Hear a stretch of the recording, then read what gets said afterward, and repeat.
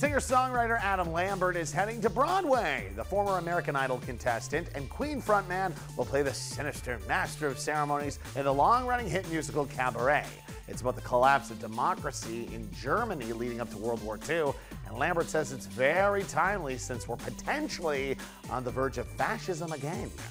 And Ryan Reynolds has finally named his fourth child. Although the kid was born over a year ago, no details were revealed.